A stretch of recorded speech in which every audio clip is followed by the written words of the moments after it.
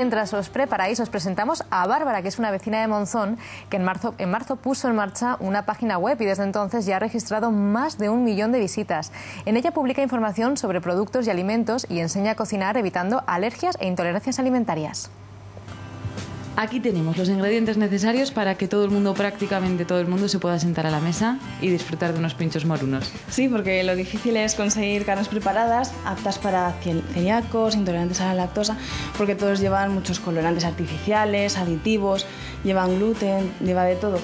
¿Qué necesitamos? Pechugas de pollo, veo por ahí, un poquito de agua, aceite, sal, ajo, pimentón y tenemos orégano. Pues empezamos. Vale, muy bien. Vemos que es una receta muy sencilla, que prácticamente es mezclar eh, pues, los ingredientes para que salga el adobo, que ya lo tenemos aquí, y a cortar las pechuguitas. Sí, ahora lo echaremos encima y lo dejaremos en, la nevera o un sitio frío durante por lo menos 12 horas para que se deje macerar bien. ¿Y cómo se le ocurre a alguien una receta de este, de este estilo? Pues bueno, es adaptando una receta de, las abuelas de toda la vida. Lo que pasa es que en vez de pues, llenarlo hasta arriba de aceite, lo, he puesto con agua y entonces eh, la carne va absorbiendo el agua en vez del aceite. Y pues es un poquito más light porque claro, no, no absorbemos tanta grasa. El antes y el después, podemos decir, pasadas cuántas horas. Pues por lo menos tienen que pasar 12 horas o una noche más o menos. ¿Tiene que estar en la nevera? Sí, mejor sí, porque ahora con el verano pues hay más peligro de, de salmonelas. ¿Cómo te surge esta idea de, empezar a hacer recetas para gente intolerante? Pues porque yo tengo muchas intolerancias, entonces pues he tenido que buscar un poquito la vida. Porque sí que es verdad que hay mucha gente que tiene muchas intolerancias, pero vamos, solo una.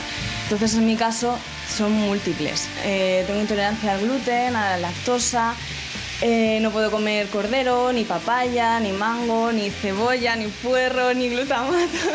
O sea que es complicado. Lo llevas con humor, pero me imagino que será difícil el día a día.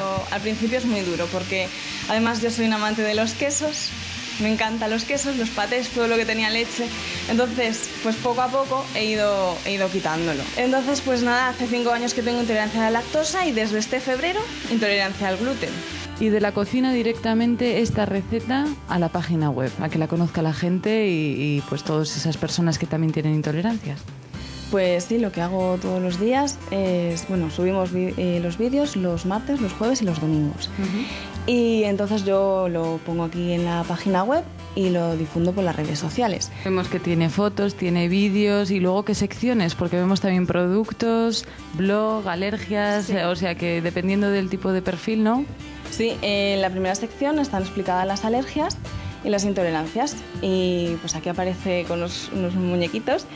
Eh, pues tú seleccionas, ¿tienes alergia pues, al cacao? Pues le das al cacao y, automáticamente pues, te sale todo lo que no podrías comer. Eh, tenemos una sección que se llama productos, tiene un buscador por fabricantes o escribes estoy buscando tomate frito, ¿vale? Entonces tú pones tomate frito y automáticamente sale debajo eh, si es apto, la marca, entonces eh, te sale en rojo, entonces no lo puedes comer. Y en verde, pues sí que lo puedes comer.